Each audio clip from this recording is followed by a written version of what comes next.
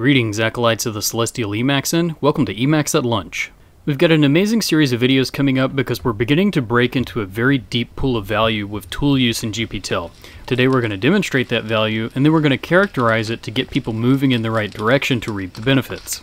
Whenever we need to make our first set of changes to a piece of software, it's usually not the changes that are the hard part. It's usually the upfront cost of figuring out how the software is put together to determine how the changes are going to fit. For this first example, we're going to use GPTEL with the tools to analyze GPTEL. Before we even start, I know GPTel is juggling requests, so I just want to know how does it manage the lifecycle of those requests. Sure enough, it pretty quickly discovers that there's a state machine, and because I'm a software engineer, I know that if I know the state transitions, I pretty much know the behavior of the lifecycle. So next we ask it to find the list of states, which is not hard once you see it, but sometimes you would have to scan through the source, and here it's looking through some functions that are probably using the states, but it's already read the entire library earlier in the context, and so before long it decides, yep, that's the list of states, and then it spits them out. Now we can go to our exact match tools, and if we had to dissect the rest of this library, we're in business. For this next example, we're going to leverage the good old Elisp manual. The problem is I want to write to a file, and I want to append to a file. I know the difference between writing and appending, but looking through the manual to figure out which of the functions are intended to be used with that level of control and from an Elisp program, not bound to a key sequence as a user command, sometimes that takes an annoying amount of time. So I've remixed a little bit of the info infrastructure. We're feeding it into the LLM. It has enough semantic awareness to kind of figure out which of these functions are intended to be used in which ways. It finds two promising looking functions, and I'm pretty sure that one is used to implement the other, and to satisfy that curiosity, I ask it to look them up, where I know it's incidentally going to see the argument list, which can tell me which one is designed to be used with the level of control that we need. For our last appetizer, I was testing to see if I could get it to look up a relationship between two packages that rely on this same built-in infrastructure. I was asking about the prescient and orderless package, expecting to find something about completions and completion frameworks, but what I realized was really impressive about this example was that it was looking through both packages simultaneously. So we're doing recursive lookup in two different places. Now, I can do a lot of things fast. I can't read two things in two places at once. At length, it concludes pretty correctly that these are two similar but distinct packages that affect completions in unique ways. With a bit of prodding, it ends up looking at the function completions for Prescient, through which it probably discovers that Ivy Prescient is installed, and so then it starts exploring the relationship between Ivy and Prescient. The other thing I found encouraging about this example was the depth of the recursive lookup. How many times when you're looking through a package, you wind up looking through a function, to look through a function, to look through a function, to finally get to the implementation. And because everything that we're seeing is about Elisp programming and packages that we use to add utility to Emacs, this is an example of using Emacs to make yourself faster at making Emacs faster, faster. This is how programmable tools are reintegrating through the disruptions faster and how they're going to accelerate past their more focused IDE counterparts.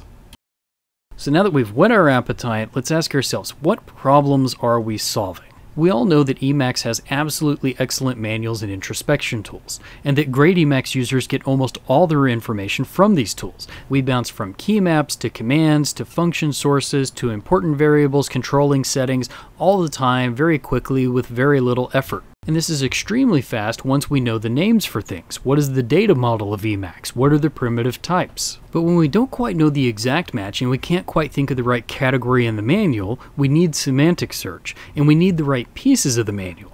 The manual can be great, but they are exhaustive, so they can also be exhausting. And this is even more true if English isn't your native language. And instead of reading code that has a lot of meaning embedded in the structure, we're reading a short story describing what the code looks like. It's extremely obtuse compared to something like type definitions, which tell me exactly how I can construct valid programs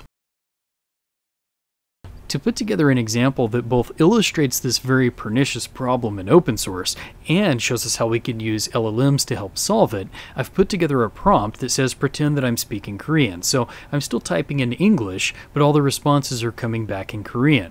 Now, you might not want to read this every day, and it's not the fastest thing for me to read, but it really illustrates the point. In the recent video I did called War for the Open Soul, one of my conclusions was that we really struggle with support across languages.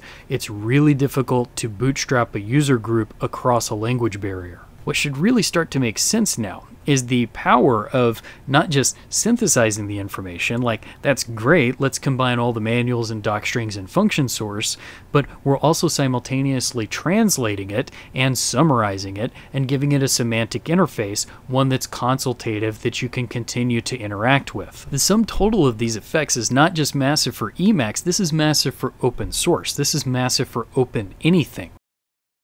To paint an accurate picture, it has to be pointed out that none of this is state of the art. I'm not using the latest model. This is not DeepSeek R1. This model has no capacity to think in the background and then show us its conclusion.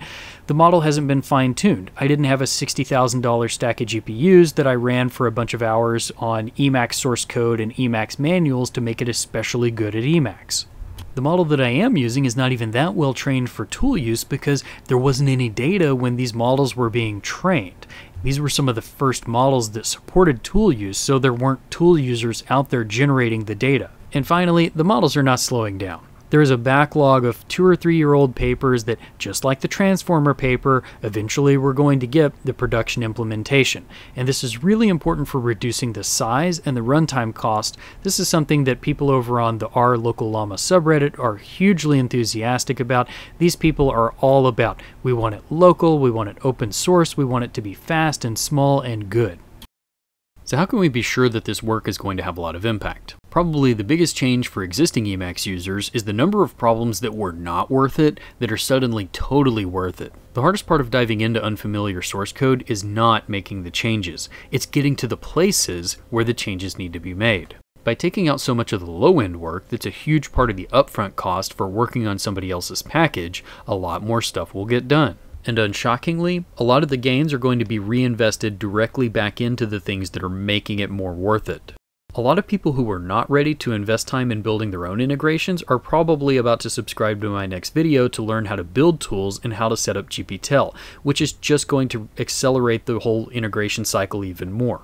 The second big change that we're going to feel in Emacs, but is actually much more massive, is that a lot of markets that have been protected by language barriers and the difficulty of providing support at scale for hugely successful software are suddenly going to have a Berlin Wall falling kind of moment. There's a lot of users who before would not have found it worth it to invest in using software that was only documented in English who will suddenly find themselves instead part of a continuous online community that is no longer fragmented across language barriers. The positive feedback loop is evident here too. I was talking with Karthik about shipping GPTel with tools built in to integrate it with its own manual and past GitHub issues. That doesn't just scale up the support bandwidth, but it also scales it out to other languages. And finally, we can expect that these changes are going to spread to languages besides just eLisp, and this is huge for Emacs analogs like Lem that are written in Common Lisp. You can be assured that even if I do absolutely nothing, that integrations are about to show up for Slime and Swank to do this kind of introspection and synthesis in Common Lisp and in Clojure and in any language that has a REPL where we can interrogate that process to get the documentation and source code. However, as we dip into this source of value, it's going to put more pressure on a runtime that was already under stress from doing language server integrations, and so this pin-up demand for moving eLisp over to a runtime that does stuff in a language ecosystem that wants to do more stuff might be reaching a tipping point. At the very least, the biggest headwind for Lem so far has been that it didn't have the mature self-documenting tools of Emacs and it didn't have all the manuals. But if we're just going to synthesize and translate all of the information anyway, that lack of inertia might just be an advantage. The only people who can really answer this question are Common Lisp programmers who might be sitting on the sidelines and might be thinking that Common Lisp is a more viable platform for doing what Cursor is trying to do and integrating a lot of natural and formal tools really deeply. This might be the better time our parentheses have been waiting for. In any case, we can be assured that things are getting more interesting, not less. If you just want to download some stuff and get going, I've put the source code for the tools used in these demos on my GitHub. Just check the commit history. I need to make some updates to those tools, but I also need to finish a PR on GPTel that's going to make those tools work as well as they did here. It's a lot of work, so buy me a fried chicken. Peace. Whoa. Not bad, partner. Follow me. I'll cover you.